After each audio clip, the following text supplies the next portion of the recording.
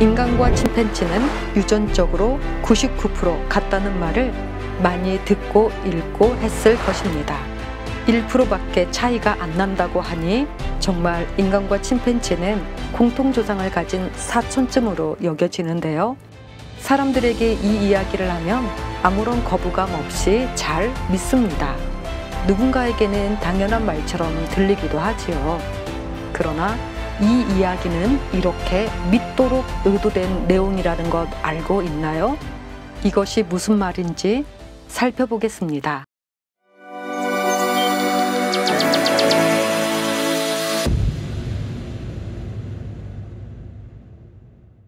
사람의 염색체는 23쌍이고 침팬지는 24쌍을 가지고 있는데요. 실타래처럼 정교하게 꼬여 있는 염색체를 쭉 풀면 DNA 염기쌍이 나옵니다. 인간은 DNA가 약 30억 쌍 정도이고 침팬지는 사람보다 약 10%가 더 많은 33억 쌍 정도입니다. 단순히 DNA 염기 서열 개수로만 보아도 약 99% 같다는 말은 문제가 있어 보이는데요. 그렇다면 99% 같다는 말은 어떻게 나온 것일까요? 인간이 가지고 있는 30억 개의 염기 서열 중에서 99%, 즉 29억 7천만 개의 염기 서열이 같고 3천만 개의 염기 서열이 다르다는 의미일까요? 이런 의미도 아닙니다. 그렇다면 도대체 인간과 침팬지의 유전자가 99% 같다는 말은 어떻게 해서 나온 것일까요? 보노보노는 피그 및 침팬지라 불리는데요. 2002년 아사오 후지야마 등 여러 일본 과학자들은 보노보노의 염기 서열을 해독했습니다. 언론들은 논문을 이용해 보노보노의 유전체와 사람의 유전체는 거의 동일하다. 98.7%가 같다고 요란하게 선전했습니다. 아사오 후지야마 등의 연구진은 인간과 침팬지의 DNA 중에서 1% 미만인 19만 8천 개 정도의 염기를 비교해서 1.3% 차이가 난다는 결론을 얻었습니다. 또한 2005년 침팬지 시퀀싱 및 분석 컨소시엄의 연구자들은 24억 개의 염기 서열을 분석해서 1.23% 차이 난다는 연구를 발표했습니다. 둘 다 비슷한 결과로 정말 인간과 침팬지는 무척 닮아 보입니다. 그러나 여기에는 일반인들이 잘 알 수 없는 사실이 들어 있는데요. 아사오 후지야마의 이 연구를 로이 브리튼 등의 다른 연구진이 다시 살펴보았습니다. 그랬더니 삽입이나 삭제, 그리고 비정렬 지역을 계산하지 않았던 것인데요. 이 말이 무슨 뜻일까요? 예를 들어 좀 더 살펴보겠습니다. 여기 도표를 보면 두 개의 DNA 서열을 볼 수 있습니다. 위에 있는 서열이 사람의 서열이고 아래에 있는 서열이 침팬지의 서열이라고 합시다. 두 개의 서열에서 서로 다른 부분에 동그라미를 치겠습니다. 하나, 둘, 셋, 넷, 다섯, 여섯. 여섯 군데의 다른 부분이 보입니다. 이 부분들이 사람과 침팬지의 유전자 차이가 나는 부분입니다. 하지만 아사오 후지야마의 연구에서는 파란색 동그라미가 있는 부분에 특별한 이름을 붙이고 이유를 대서 차이를 계산하는 것에 놓지 않았습니다. 오직 A 대신에 G가 있고 T 대신에 G가 보이지요. 이 부분을 돌연변이 된 곳으로 여기고 이 부분만 DNA가 서로 다른 것으로 계산했습니다. 20개의 차이가 2개의 차이로 계산된 것이지요. 이것은 2005년 침팬지 시퀀싱 및 분석 컨소시엄의 연구에서도 같이 적용되는 문제인데요. 이 연구에서도 역시 돌연변이 되었다고 하는 부분만 계산한 것입니다. 로이 브리트는 인간과 침팬지 유전자 비교 연구를 다시 했습니다.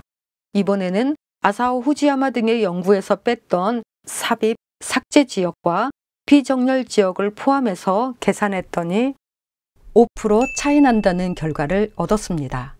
98.7%에서 95%로 감소된 것이죠.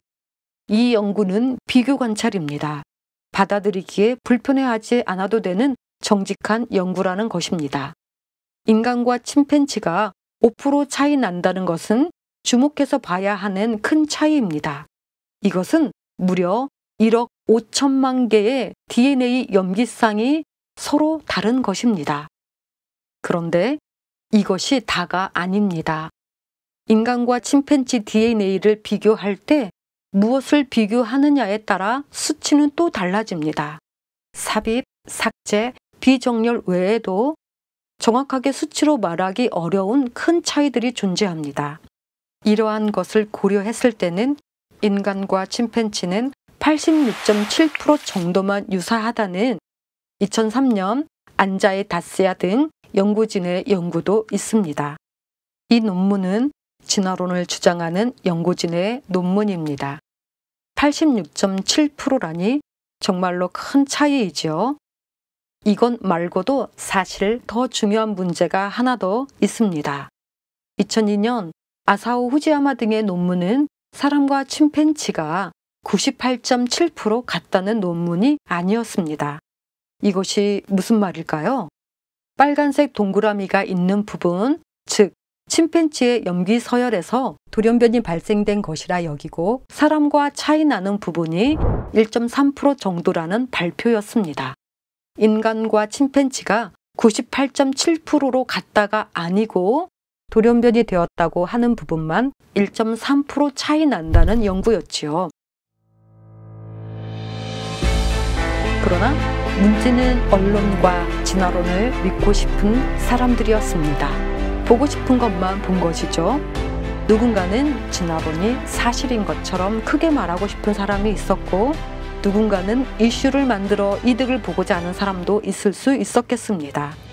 이들의 의도대로 이제 사람과 침팬지의 DNA가 99% 같다는 것은 진실과는 다르게 사실이 되었습니다. 왜 사람들은 사람과 침팬지의 DNA가 99% 같다는 말을 쉽게 믿을까요? 이렇게 명백하게 의도된 전달에 오류가 있었다는 것과 합리적인 다른 연구의 결과를 말해줘도 쉽게 수용하지 못합니다. 그 이유는 우리는 진화론의 시대에 살고 있기 때문이라고 저는 봅니다. 묻고 따지지도 않고 믿게 된 것이죠. 성경은 믿음을 이야기합니다. 하나님은 영이시니 볼 수가 없습니다. 믿음으로 만나는 대상이지요. 요한복음 20장 29절에 예수님은 보지 않고 믿는 사람들이 복되다고 말씀하셨습니다. 또한 6기 12장 7에서 9절에서는 이렇게 말합니다. 이제 모든 짐승에게 물어보라. 그것들이 내게 가르치리라. 공중의 새에게 물어보라. 그것들이 또한 내게 말하리라. 땅에게 말하라. 내게 가르치리라. 바다의 고기도 내게 설명하리라. 이것들 중에 어느 것이 여호와의 손이 이를 행하신 줄을 알지 못하랴. 하나님은 믿음의 대상이지만 만물을 묻고 따져서 살펴보아도 이것들을 지으신 하나님을 알 수 있게 된다고 말하고 있습니다. 사람도 살펴보고 침팬지도 살펴보면 사람은 하나님의 형상으로 지으시고 침팬지는 침팬지로 지으신 하나님을 만나게 됩니다. 정리하면 이렇습니다. 1. 인간의 염색체는 23쌍, 침팬지의 염색체는 24쌍이라는 것. 2. 인간의 DNA 염기 서열은 약 30억 쌍, 침팬지는 약 33억 쌍이라는 것. 3. 인간과 침팬지의 DNA를 비교할 때 차이나는 모든 것을 비교한 것이 아니라 돌연변이 되었다고 하는 부분만 비교했더니 1.3% 정도 차이 난다는 것. 4. 서로 다른 여러 가지 것들을 넣어서 비교하면 81%에서 87% 정도만 유사하다는 것. 5. 99% 같다는 말은 진화론적 시각으로 왜곡된 말이라는 것. 6. 성경은 사람이 하나님의 형상으로 지음받은 존귀한 존재라고 말하고 있다는 것입니다.